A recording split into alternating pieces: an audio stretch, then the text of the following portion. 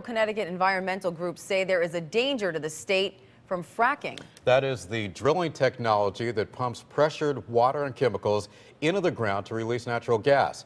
It's being done in Pennsylvania, several other states as well. The groups contend there is a danger to Connecticut if wastewater from fracking is brought to Connecticut for disposal. They're calling on the General Assembly to ban it from being disposed of here. The report finds that the total volume of fracking waste generated across the country in 2012 is enough to flood all of Hartford in a toxic lagoon more than 77 feet deep. A spokesman for the national gas industry here in Connecticut says no new laws are needed because long-standing regulations ban wastewater from being buried here or anyplace else in New England.